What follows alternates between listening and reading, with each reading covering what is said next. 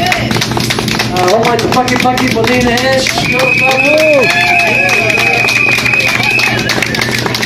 Uh, Kapoya, we, don't want to muck around with this weather. Uh, it's, uh, let's just get on with the kōrero, get on with the speakers that we've got here, and uh, use our time effectively. Uh, Kia to everybody who's here. There's some great uh, minds present today, great to have you all here. I ask Tony to come up and have a big, bit of a kōrero and whakamārama tātou tōnei? Kia ora. Kia ora ne, mai te. Kia ora mai anō tātou katoa. First of all, I know nobody's surprised that John Key is happy to sell off our land. But know this, the other guys, the guys who we read, the Labour Party, they aren't opposed to the bloody TPPA either. Yeah, that's right. So know this, all of you people who think that you're being strong by voting against National and voting Labour, you're still voting for the bloody TPPA. One other thing, one other thing. Look clearly at what the Greens are saying. They have given a conditional condemnation of the TPPA. Are no conditions to opposing the TPPA, folks. You're either against it or you're for it. Yeah, yeah. I'm saying if we are going to oppose it, we must oppose it absolutely in every single way that we can. And don't take half-ass answers from anybody who thinks that we might be able to get away with a bit of this and a bit of that and a bit of something else. Because there's 12 countries in this. Australia, Brunei, Singapore, Malaysia, Vietnam, Japan, Canada, United States, Mexico, Chile, Peru, and Aotearoa. And in that scheme of things, we don't count. Once we sign the deal, we disappear. There's more people living in bloody Sydney, for God's sake, than live in this country. You think they're going to care what we want after the deal is signed? Hell no! And that's why we must fight it now. That's why we must stop it now.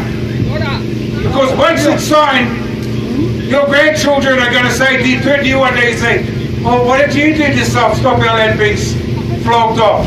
And if all it was was, well, I got on the, I got on the computer and I see the really nasty blog. Well, that's not going to do anything, eh? The, the day's going to come, and it's going to come shortly when we're going to have to stand up to this.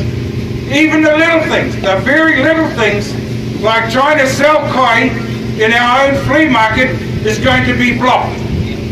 The big boys are going to force all of the kai into the shops, and then they're going to determine the kind of kai we're allowed to buy. You won't be able to sell your kai over the fence. All of those of us who put down hāngīs to raise money for our kids to go away, that's going to be stopped. All of that sort of thing will be blocked by people who want to control the food we eat, control the money we pay for that food, and control the people who are going to be allowed to, to sell it to us. So that's what I want us to realise here in Kaitaia. The little stuff is important to all of us. We, we, we pushed hard to try to make this country smoke free. Our government has stopped passing heavy legislation against the tobacco companies because Australia is currently looking like they're going to get sued and if the TPPA goes through, Australia will lose against big tobacco and if Australia loses, we ain't going to fight. That's what the TPPA is all about. If the tobacco companies can prove under the TPPA that New Zealand's legislation is going to stop them making the profits that they've been able to make, they can take us to this court that Nina was talking about, which is located somewhere nowhere near here, and our government will have to go over there and fight them. And you think our government's big enough to, to fight big tobacco? And they could buy us and sell us in a blink. In fact, big tobacco, big tobacco lost a case in the United States against a number of, of the of the states of the U.S. And they paid out 53. Listen to this, folks. They paid out 53 billion dollars, and they're still selling fucking cigarettes. So don't think that we're going to be able to stop them. Don't think we're going to be able to go to some World Trade Court and beat, them, beat those guys because we aren't. The only way to stop them is to stop our own blood-sucking leaders from signing the bloody thing in the first place. We have to do it. We're going to carry that. And, you know, when they come to you, say, do you support the TPPA or not? And if it's a not, say, well, sign the bloody thing and put it in the paper. Make them front up. Make them mind up to the fact that they are going to oppose it or not. Don't let them say, oh, yeah, well, if we can get this bit and if we can get that, oh, bullshit. The national government thinks they're going to protect the dairy industry under the TPPA. Mate, they may not have noticed, but dairy's just gone down the hole in a big way. They ain't going to save it with the TPPA. It's already gone. We, the little people, have to start doing something to send a signal to those people in Wellington that we are serious. You can ask Reuben how serious they're getting, because he's getting phone calls from all over the country trying to get him to organise a march to Wellington. Poor Ruth. He's just about to start his business, and now everybody wants him to march to Wellington. If it happens, everybody, know that it can't just be a march to Wellington, eh? I'd say block every bloody main road up and down the country until government, until, until we bring the economy to its knees. It's going to have to be that kind of serious. And the other thing too is, and I see it all over my Facebook, all over everybody's Facebook, everybody's saying, yeah, go, go, want to fight that TPPA. We've got to get everybody off the Facebook and onto the streets if it's going to happen. This is serious stuff. And, you know, I haven't even mentioned what I'm about to mention now, the Treaty of Waitangi. If in this little country, our treaty goes up against all the other pieces of legislation in all of those other countries, you think anybody's going to notice? You think the treaty's going to get noticed at the World Trade Court? We won't be able to defend the treaty there because the deal is between those foreign corporations and our government. We will have to rely on our government defending the Treaty of Waitangi. Like, like, like, like what they've done up until now has been anywhere. They're the last ones I have defending the Treaty of Waitangi. We're not even allowed to go to that court to raise this. We won't be able to. So when people talk about their treaty rights under the TPPA, there's supposed to be a treaty exception clause. We took it to the Waitangi Tribunal. I was there when the tribunal said to the government lawyers, okay, we think the Maoris have got a case. You, government, may be right. Tell you what, let us see the TPPA. Show us the text.